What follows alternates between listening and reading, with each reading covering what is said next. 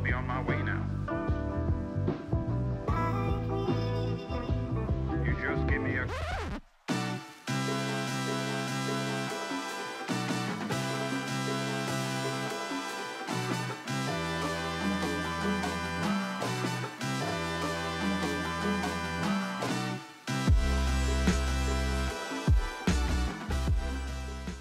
right, so I'm gonna show you guys how I basically installed this gorgeous wig from Beauty Forever Hair. This is their 33B unit and it's kinky straight. So let's see how I install it.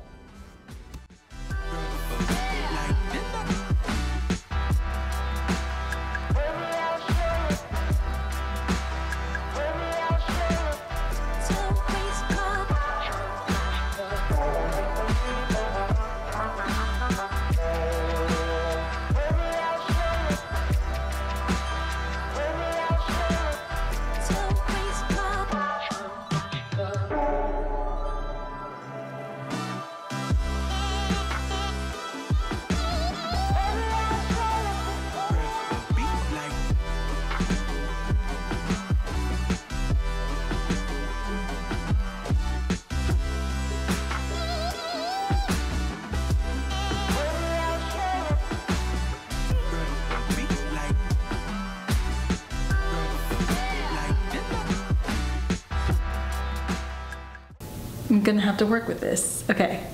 Hey guys, I'm back with a new video. Uh, my name is Tima and uh, this is another hair review.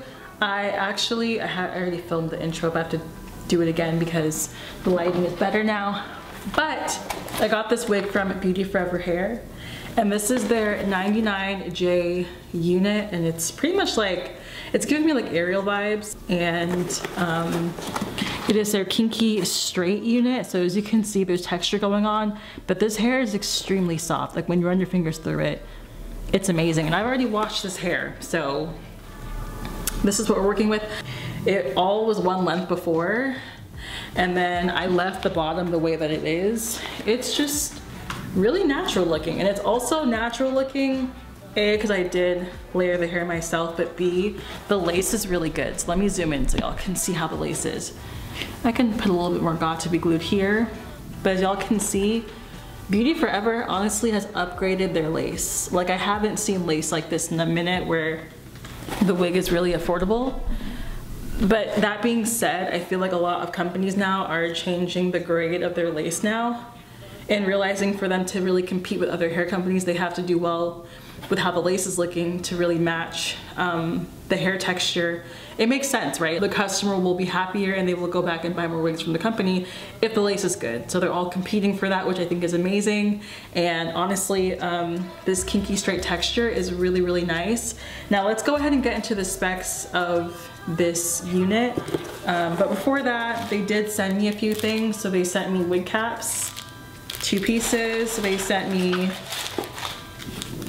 um, an edge band, edge control band. Like whenever you're doing your um, installing the units, it's really good to use this. In my install for this video, I don't think I used that. They also sent me lashes and more wig caps and all that good stuff. But yeah, the specs of this wig. Okay, so this is their 13 by 4 kinky straight lace front wig. Oh, so the color is not 30 something J, it's 33B. And it's like the pictures even on the website are really, really good. Yeah, so I don't even know the length of this. What is the length that they gave me? I think it's 24 inches and we'll do the luxury density. The normal density is gonna be 231.83 and then the luxury density is gonna be 305.93 and this is a 24 inch unit goes up on me like this. I'm pretty sure actually I have 22 inches. So again, you're not spending a lot of money on a unit like this. And I'm telling you, if you just get yourself one of those like razor combs and just get a small chunk of your hair on the front and like right around here, you kind of just make sure that you layer it and cut, all the wigs that you end up using will look fantastic. Even if you take like the sideburn pieces or like the areas close to your ears and do the same thing, which I haven't done with this wig yet. And you just kind of like shave off the hair when it frames your face. Your wigs are gonna look that much more natural. You don't really have to do too much. Like a lot of the companies, yes, they do that already for you, but again, you can make it look even more natural by yourself. You don't have to necessarily spend like six, seven hundred dollars in one unit. You know what I mean?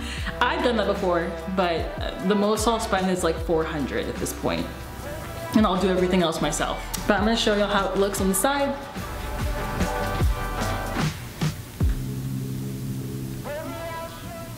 It's so pretty, just the way that it falls. Again, like me making that really big difference of cutting my own bangs transformed this wig completely. And yes, this hair is already straightened. At the beginning of the video, I don't think the whole thing was straightened, but I make sure for this wig specifically to use a hot comb at the very top and then the rest of it I don't really need to do too much and it still has a lot of texture going on so it looks really natural. Uh, I haven't seen a kinky straight unit in this color which is 33B yet. This is the first time which is why I feel like it's doing so well as far as the popularity of this wig. I'm going to go ahead and buy this one again Yep, they take Afterpay, Klarna, and Zip payment. They're doing 35% off right now. So you can split that into four payments. You're not gonna be paying much at all, which is amazing. The lace is really good. I don't know how they do it.